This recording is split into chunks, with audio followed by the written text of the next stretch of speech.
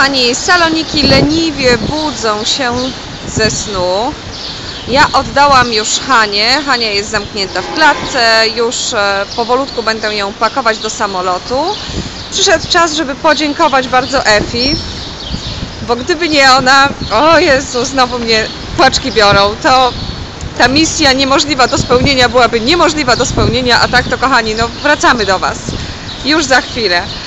Effie, I would like to tell you a big, a big, a big thank you from Thank my you. part, but I think also from a part of all Polish people for what you are doing here, especially for Hania. So uh, Thank you, thank so you for your hospitality, thank you for the morning coffee, thank you for everything.